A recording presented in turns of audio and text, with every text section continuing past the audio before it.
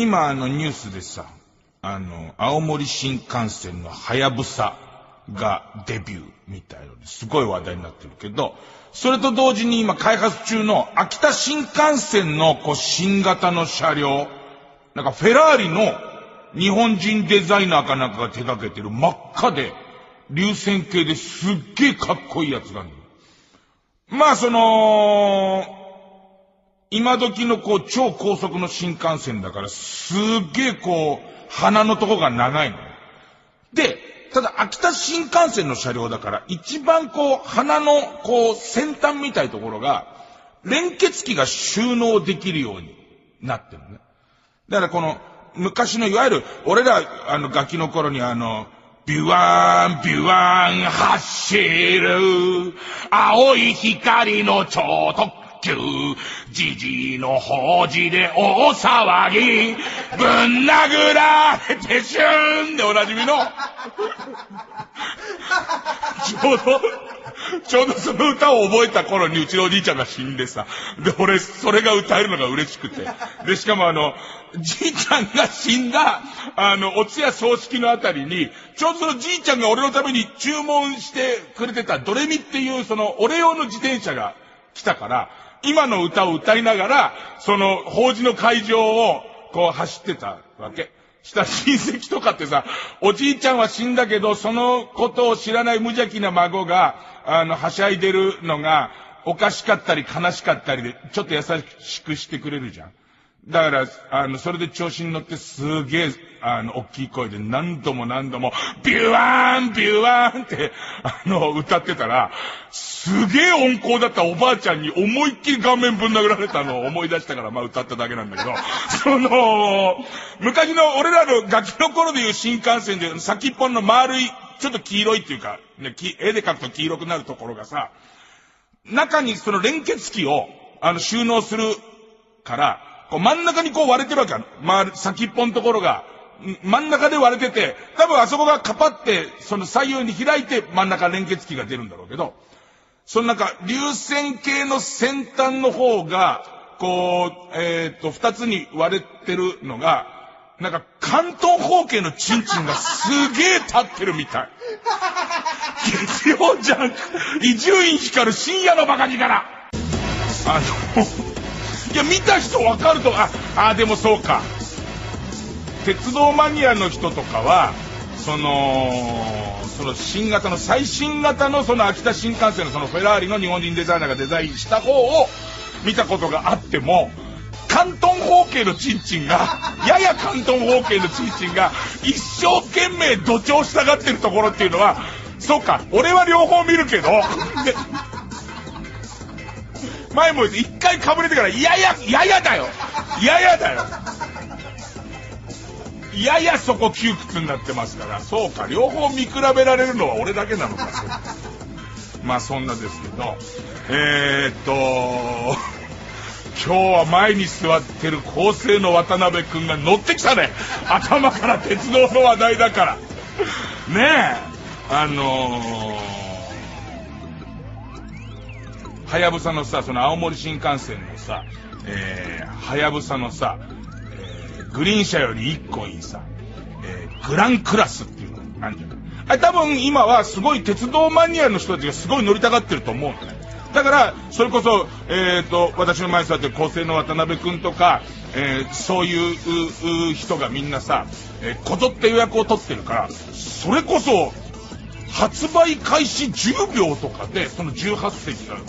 売り切れるらしいんだ。で、俺は割とそれは平和なことだと思ってるね。その18席が鉄道がすごい好きで、あの、そういう日本で初めてのクラスがあるんだったら乗りたいっていう人が、まあ、あの乗るのはまあいいかなと思うんだけど、やばいのはちょっとダブついてきた頃だと思う。ちょっとダブついた頃から、なんかその芸能人の醜い争いみたいの絶対始まるって。要するに、その次々と鉄道の好きな人まあ1回乗ればとりあえずそれ制覇したっていうことになるからいいじゃないですか。でそうするとまあその毎号その18人ずつ鉄道マニアが一応まあ満足していくわけですでそうすると何ヶ月か経っていくとそろそろあの鉄道マニアじゃない人の分の席が出てくると思う。だから今日のそのグランクラスは3席だけとりあえずまだ県に余りがありますよっていう時に、例えば商店の、その、青森公園ってあるじゃないですか。ああいうその、あの今日青森に来ましたんで、リンゴの3文字を頭につけて、んから始まる言葉なんかねえよ、歌丸お前。ボケてんじゃねえのか、おめえはよ。みたいな。日本でやろで、まあ、消火器でぶん殴り合いですよね。ゴインゴイン音がしてですよね。ええ。山田くんだけ血が目立たない服でよかったんです。なった時に、その、3人はグランクラスで、残りは普通のグリーン車みたいなことが起きてくるわけですか。で、多分その正確な数は知りませんけど、まあ、普通のってもグリーン車で相当高級なんですけど、ね。だって自由席、指定席、グリーン車で言えば、ね、今まで一番トップのクラスですから、やっぱ東海道新幹線、細かいデータこいつクレーマーが前にいる。細かいデータ間違う。ちょっとぼやかすけど、東海道新幹線で言うと、まあ、あれ1両で、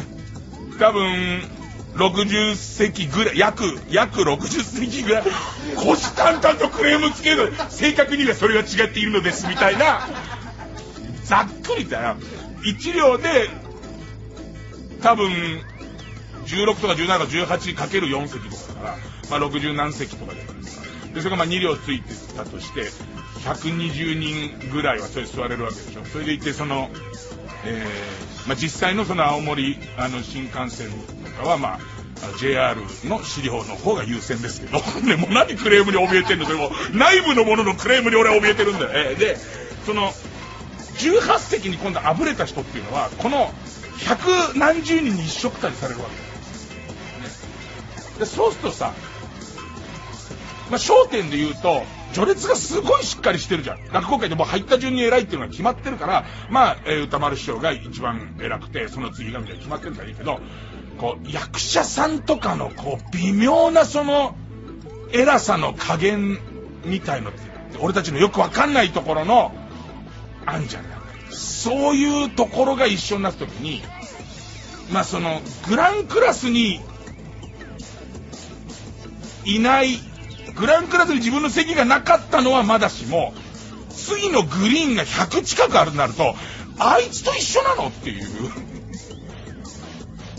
ね、なんで、え、あいつと一緒なのみたいなことになっちゃうじゃないですか。焦点で例えば4番目ぐらいだと、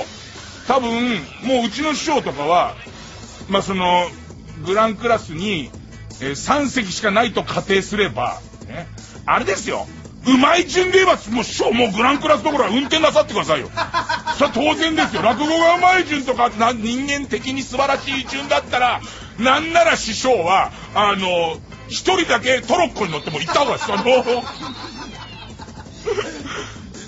はやぶさよりも前にトロッコで、時速800キロ出るトロッコで、玉座のついたトロッコの上で行った方が師匠いい。それはもう、間違いない。それはもう僕がちょっと JR と話しますんで。ですけども、その、えー、落語界でいう、その交番っていう入った順みたいなでで言えば、仮にそのグランクラスが3席しかなかったら、もしかしたら、うちの師匠よりも、それこそ好楽師匠の上ですかね。その、円楽一門でも好楽師匠の方が先ですし、それからあとは、菊蔵師匠も当然先ですから、そうするとうちの師匠は、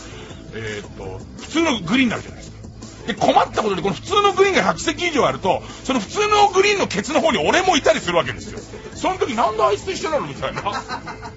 で、そうした時に俺はパンダグラフに入るぐらいしてないと、師匠からしてみたらですよ。いや、上はいいと。上は序列だから、それはね、あの、歌丸師匠、菊蔵師匠、好楽師匠が、その、グランクラスにいてもいいけども、伊集院と同じっていうことだよね、俺の。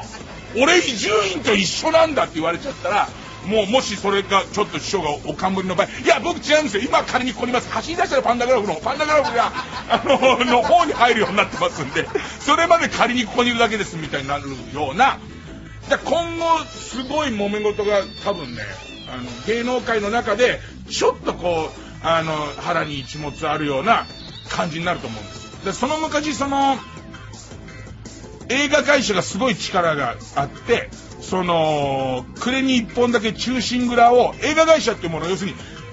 今でいうテレビ局もプロダクションも制作会社も全部その映画会社、要するにタレントとか俳優も映画スターも全員映画会社に所属して配給もやるし、それから撮るのも映画会社っていうこの映画会社が年に1回その暮れに中心蔵っていうそのオールスターのその、そこに所属する俳優が全員出る、その、特別企画をやるときの、ポスターの名前の大きさと順みたいな。なんかだから、字は大きいけど、例えば、すごいその有名なその人でライバル同士の人がいると、字は大きいけどちょっと下にあるみたいな人とか、その、字はちっちゃいんだけど上にある中心寄りにあるとか、先生のだけ字が銀なんですみたいな、そういうのをやるぐらい気使ったらしいんだけど、なんかそういうことが、あの今後結構俺は起きてくんじゃねえかなっていう、もう満足鉄道ネタで入って、えー、寝言ハロー。グランクラスっていうのはさ、何が違うの？まず椅子がすっごい広い。だって18席しかないんだもんね。あとあれだよね、お弁当みたいのもつくんだよね、なんかね。俺、お弁当、あの、どうでもいいんだよね。あの、たまにさ、すごい待遇のいい仕事でさ、あの、飛行機を、ビジネスクラスを用意してくれる時とかあるんですよ。で、そうするとビジネスクラスってなんかちょっといい機内食みたいの出るんだけど、基本海外とか行く時ってさ、向こうでなんか向こうしか食べられないやつ食べたいじゃん。で、また機内食ってなんでさ、あの、蕎麦とか、要するに日本の航空会社は日本っぽいの出すじゃん。でもさ、帰りに出んのはわかるけど、行きは良くね？だって行きは俺もう嫌ってほどそれは食ってきてるわけだから、いいんじゃねえの？みたいな。で、あと、なんかその、まして新幹線とか飛行機なんていうのその速さがすごいわけだから、なんか、あのー、そこは寝てる間にあっという間に着くみたいなのが好きなんで、食べ物はどうでもいいね。あとなんか、お姉さんが常駐なんだよね。18席しかないのに2人ぐらいお姉さんがずっとついてんだよね。そのお姉さんはどこまでやっていいわけ？このクラスだととりあえず。このクラスは、お触りなし？お触りなしなんだ、グランでも。グランでもお触りはなしなので。だから、俺思ったんですけども、あのー、JR ととかもどんどんこれから黒字を出していかなきゃなんないじゃないですか。そしたら多分、この18席のグランクラスに、鉄道マニアのみんながもう乗り終わっちゃったら、もしくはその大御所が、あのー、グランクラス当たり前みたいに思い始めたらね。ね。したら今度、その上とかをどんどん作っていった方がいいと思うわけ。なんか4席なんだけれども、もうマンツーマンで、その、お姉さんがついてて、あたまにだよ。たまにおっぱいが見える。たまにおっぱい、もう、どんだけ俺成虫からおっぱい見え、見たいんだよって話で、たまにおっぱいが見えるっていう。たまにね、たまに、新八戸で、新八戸で、あの、見えるから、ね、もうすぐ着くのにだよ。で、新八戸で見えるのが味噌なのは、途中で降りらんないじゃん、もうだって。もうかなり来てんの、乗り越してでも新八戸までは行かないとっていう気がするじゃん。ね。で、その、2席のやつ。その、さらにそのグランクラスの上の2席のやつは、マンツーマンで女の人が、あのー、つくのはもちろんなんだけれども、網棚の上に、すごい短いスカート。短いスカートで、網棚の上、この女の子たちがね、うっかり網棚の上に、あのさ、えっ、ー、と、グリーンの時にさ、よくチェックにしに来るちっちゃい端末みたいなんじゃんか。この席の人は、その、えっ、と、もう乗りましたね、みたいな。この人はもうすでに切符を買い、確認してるから、みたいな。ちっちゃいコンピューター端末みたいなんじゃん。あれをね、これ、い、もうほら、1号車っていうかさ、長い鼻の半分ぐらいのところがその一番スーパークラスだから、ね、そのスーパークラスだから、そこからスタートするんじゃん。必ず高いところに置いちゃう。女の車掌さんが高いところに取っちゃうから、すいませんなんつって、すいませんなんつって、で、えっ、とね、東京駅出て上野の手前ぐらいのところにガタンってするとこ作ろうか。そのガタンってするとこ作っとくと、ああ、すいませんつって、あのー、一旦そのスーパー、スーパースーパーグランクラスのお客さんの上に一回倒れかかって、ちょっとおっぱい見えんだよね。ちょっと見えん。ほいで次に、あの、そこがもうしまうとこに決まってるから、大変申し訳ございませんけれども、あのーえー、流体力学的にスピードを出すためにかなり流線形になっておりますので、割とこう車内のスペースが狭うございますから、もうここにしか端末を置けないんですつって。この高いところにしか、お客様の座席のすぐ横の高いところにしかもう置けないんで、つって、新八戸で置きに来ますなんつってるから、途中で降りられないわけ。途中で降りられた新八戸でもう一回見えんだから。逆側のおっぱい見えんだから。ね。で、えその先のスーパースーパースーパーはもう一人なんだけど、一人で一人お姉さんがつくのね。だけど、あの、これすごいのは、そのスーパースーパースーパーは座席の中に入れてお姉さんがくつろぐから。その上で、知らずに、知らずにその、もうプレイ、人間椅子です。人間椅子プレイですからね。